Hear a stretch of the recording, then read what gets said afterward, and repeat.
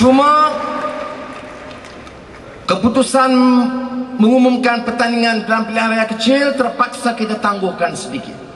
Sebab kalau saya umum besok kita akan bertanding di kawasan A. Lusa polis siasat.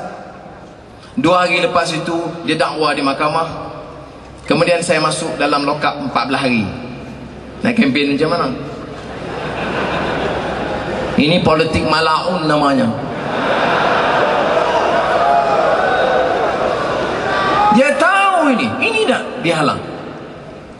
Sebab itu saya ambil keputusan juga menangguhkan nama empat orang itu pada ketika dan terdekat dalam beberapa minggu lagi kalau boleh. Supaya keadaan itu lebih reda. Kita sudah-sudah mau membawa perubahan ini kerana menyelamatkan negara. We have to save this country from a decline.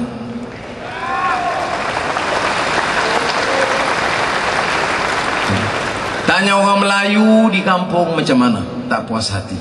Tanya orang Cina harapan berniaga, tak puas hati.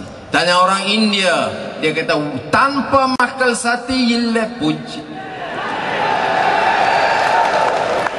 Tanya orang Iban Kadazan dusun Murut Bidayu, apa masa depan mereka?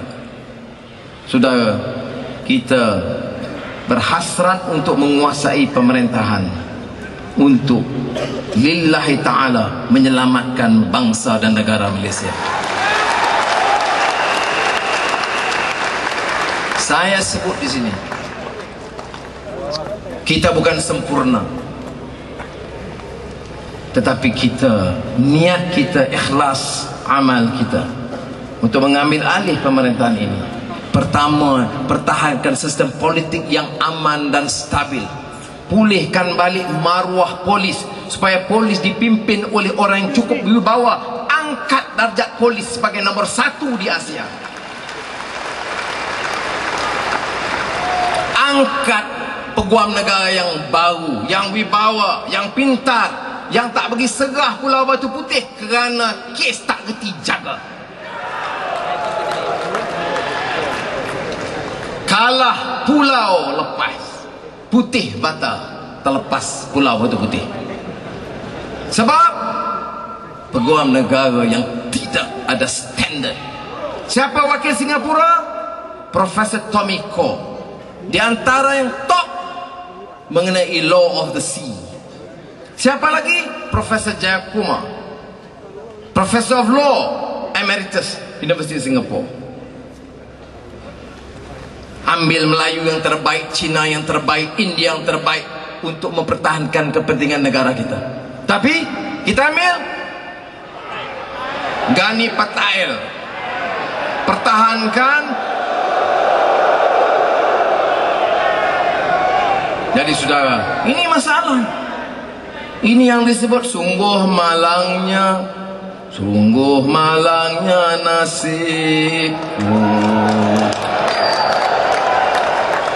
Malang sebab kita letak orang-orang yang tidak cukup di bawah. Kita bangkitkan soal universiti macam itu juga.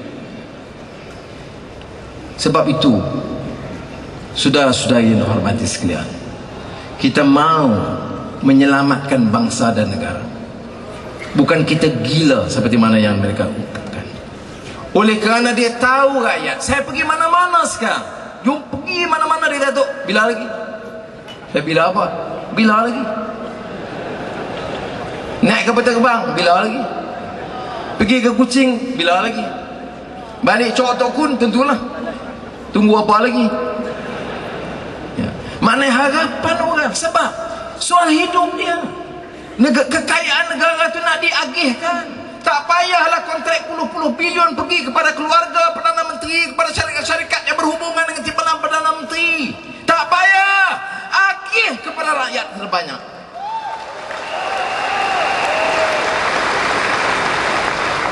Ini sudah-sudah ini yang kita sebut soal perubahan. Enam hari bulan ini kita akan berimpun. Dan saya mau mudah-mudahan insya Allah sebelum jelang tengah hari dan petang perhimpunan kita itu menjadikan suara rakyat yang betul-betul berkesan. Betul saya harap betul-betul saya akan sampai bersama dengan Ustaz Hadi Awang dan Saudara Lim Kit Siang dan Azizah di sebelah tengah hari dan petang untuk menyatakan sokongan kepada perjuangan dan tuntutan rakyat.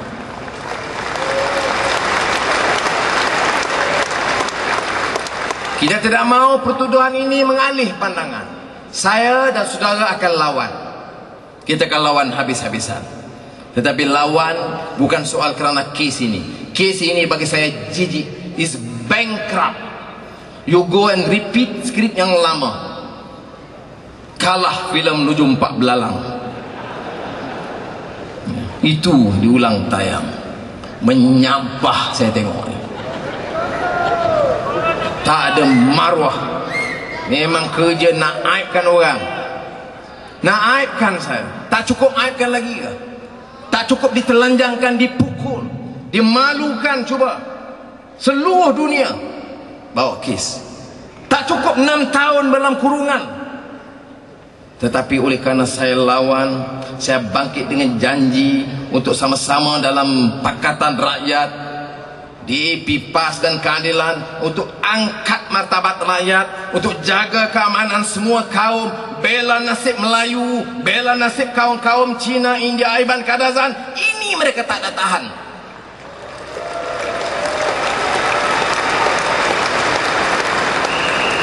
Ejen Yahudi saya ini. Saya ini ejen antik bangsat Amerika. Kemudian saya ini hanya tunduk kepada orang Cina. Anwar nama saja ketua umum kepala Pakatan Rakyat kononnya. Tetapi dia ini tunduk kepada tuntutan Cina. Saya nak bagi tahu pemimpin-pemimpin di IP pun ada. Saya nama Anwar. Saya orang Melayu. Saya jaga orang Melayu dan saya tidak akan tolak ansur untuk mempertahankan hak Melayu di Malaysia ini. Tetapi sudah berulang kali saya tekankan Jaga hak Melayu ini mesti jaga dengan adil supaya hak Cina, hak India, hak rakyat sebagai hak bersama kita baru kita boleh angkat semua. Jangan ikut ini kempen kotor bankrupt UMNO dan kuncu-kuncu mereka. Jaga hak Melayu. Hak Melayu apa? Orang yang jaga hak Melayu jangan pelahap harta Melayu. Orang jaga hak Melayu itulah ambil segala pasir, tanah, balak, harta Melayu, saham-saham Melayu. Semua untuk kepentingan Melayu. Orang Cina tersinggung kerana dia kata banyak sangat bagi pada Melayu. Orang India kata kita ni semua ilek tak ada. Di estate tani pun ilek. Kononnya Melayu semua dapat. Melayu mana saudara? Pemimpin-pemimpin UMNO dengan unggah kekayaan yang begitu besar dan dia sebut hak Melayu. Saya nak ulang. Malaysia ini harus diangkat untuk jaga hak semua rakyat negara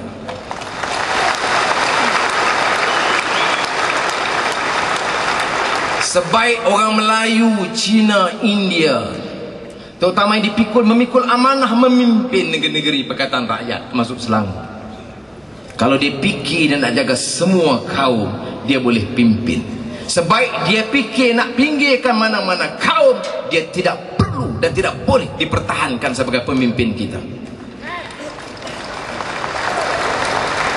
Dan ini saya minta sokongan dan kerjasama suster. Bila kita minta ambil alih kuasa Ini maksudnya. Politik stabil. Ekonomi dipacu dengan baik Biar jadi hebat semula. Bukan sekat 90-an cita-cita kita nak angkat ekonomi Malaysia ini jauh lebih hebat dari 90-an. Hebat di antara ekonomi yang hebat di ASEAN. Itu cita-cita kita. Untuk apa? Untuk kontrak kepada anak pinak kita? Untuk kontrak kepada menantu kita? Tidak. Untuk meredakan, melegakan, memberikan keselesaan kepada rakyat. Jangan. Jangan jadi kita boleh tidur nyenyak, perut kenyang, rakyat duk fikir mana nak tambah 200 ringgit harga minyak meningkat tiap bulan. Apa jenis pemimpin yang tidak memikirkan nasib rakyat yang dipimpin